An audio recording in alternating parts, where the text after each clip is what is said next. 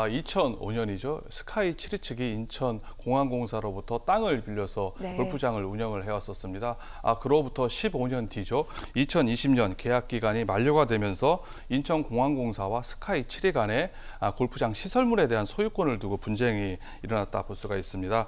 아, 스카, 아, 인천 공항공사는 이제 민투법에 따라서 BOT 방식이 준용되기 때문에 아, 골프장 등 각종 시설물을 무상 인계해야 된다라고 주장을 하고 있고요. 아, 스카이 7위는 아, 골프장이 무슨 민자 사업이냐? 민자 사업이 아니기 때문에 BOT 방식이 적용될 수가 없다. 즉 민투법이 아닌 민법이 적용 되어서 어, 시설물을 보상해줘야 된다. 즉 지상물 매수 청구권이라든지 유육비 상환을 인정해줘야 된다고 이렇게 주장을 하고 있습니다. 아, 특히 인천공항공사는 신임 이제 김경욱 사장이 부임하고 나서 지금 강하게 아, 스카이 7위를 뭐 4월부터 영업을 중단하라 압박을 하고 강경한 태도를 보이고 있는데요. 반면에 스카이 7위 측은 어, 지상물에 대한 보상이 있기 전까지는 나갈 수가 없다. 즉 법원의 아, 소송 판결을 통해서 어, 나올 때까지는 아, 영업을 계속하겠다 이렇게 밝히고 있습니다. 교수님, 그런 자세한 내용은 계약서를 작성할 때 따로 쓰지는 않습니까? 아, 일단 쓴다고 볼 수가 있는데요. 네. 거기에서 기본 계약서에서는 이제 무상인계를 썼다라고 주장하고 또 구체적인 내용에서는 또 쓰지 않았다라고 양측의 입장이 좀 다르기 때문에 네. 법상 해석의 문제가 좀 남아있다 이렇게 볼 수가 있습니다. 그렇군요. 해석의 문제를 놓고 지금 다투고 있는 중인데 실제로 이제 인천공항공사는 실력 행사에 들어갔습니다. 바로 지난 1일부터 일단 중수도를 끊었습니다. 중수도는 수도는 아니고요. 골프장 잔디 관리 등에 사용되는 물이라고 합니다. 이 물을 끊었고요. 이제 앞으로 전기도 끊고 상수도 끊겠다. 지금 이렇게 나오고 있는데 궁금한 지점이 생깁니다. 이런 골프장을 그럼 이용하는 사람들, 고객들은 앞으로 그럼 어떻게 해야 되는 겁니까? 네. 인천공항공사가 지난 4월 1일 날에 단수 조치를 강행을 했습니다. 근데 하지만 잔디를 관리하는 중수에 대한 중단을 했기 때문에 실제 골프장을 이용하는 고객들에 대한 아, 피해는 거의 없을 것으로 예상이 됩니다.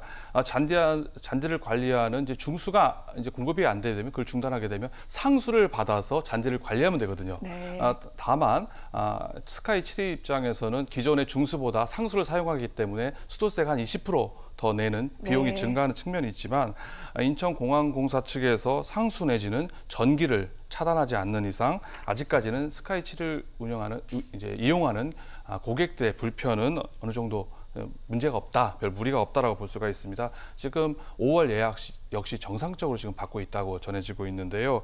다만 앞으로 인천국제공항공사가 상수에 대한 단수 내지는 단전을 했을 경우가 이제 문제가 되고 관심사라고 볼 수가 있습니다. 하지만 뭐 쉽지 않을 것이라고 전망이 되는 이유가 아무리 소유권자라 하더라도 함부로 수도를 끊을 수는 없는 문제가 있습니다. 그렇게 되면은 형법상 수도 불통죄로 처벌되는 우려가 있습니다. 아, 그런 관련 판례도 있고요. 아, 하지만은 이런 뭐 상황에서도 인천공항공사 측은 뭐 상수에 대한 단전, 뭐 단수 내지는 단전 조치는 또 더 나아가서 통신, 그 통행료 통행로까지 차단하겠다 이렇게 의지를 강하게 밝히고 있습니다. 네. 지금 이렇게 강대 강으로 맞서고 있는 중인데 그런데 지금 애매하게 인천시까지 불똥이 튀고 있습니다. 어떤 내용이냐면은 지금 골프장이 어쨌건 계약이 만료됐는데 계속해서 운영을 하고 있고 이러다 보니까 인천공항공사는 임대료가 지금 손실을 어, 입게 되는 겁니다. 다른 곳과 지금 임대 계약을 했기 때문인데 이렇게 손실을 입게 되는 부분에 대해서 지금 인천시에 어, 넘길 수 있다, 인천시가 떠안을 수 있다 이런 언론 보도도 나오고 있습니다. 이건 또 무슨 일입니까? 네, 인천공항공사가 인천시 체육진흥 과장을 상대로 해서 직무유기로 고소를 했습니다. 아, 공사가 인천시에다 공문을 보내서 어, 인천시 공무원을 직무유기로 고소한 적은 처음 있는 일이라고 할 수가 있는데 유례가 없는 일이라고 할 수가 있습니다. 아, 공사는 인천시에 공문을 보냈습니다. 공문을 보내서 아, 스카이 7회와 임대 계약이 종료됐기 때문에 체육시설 설치 및 운영에 관한 법률에 따라서 광역 지자체인 인천시가 아, 직권으로 등록을 취소를 해야 된다라고 이렇게 공문을 보냈습니다만 네. 인천시가 아, 그 치- 등록 취소를 하지 않았거든요. 그에 따라서 직무유기다라고 지금 공항공사가 주장을 하고 있는데요. 하지만 이거는 인천공항공사의 다소 좀 무리수라고 볼 수가 있습니다.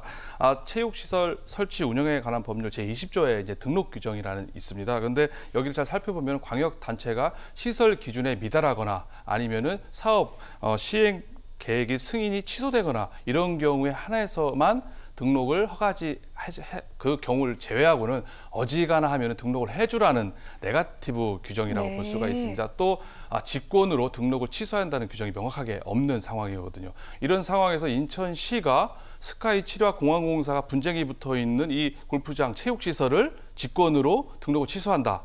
아, 기대하기는 어렵다라고 볼 수가 있습니다. 아, 제가 볼 때는 뭐 직무유기뿐만 아니라 아, 임대료 손실물을 인천시가 떠안게 될 가능성은 거의 희박하지 않나 이렇게 생각을 합니다. 그렇군요.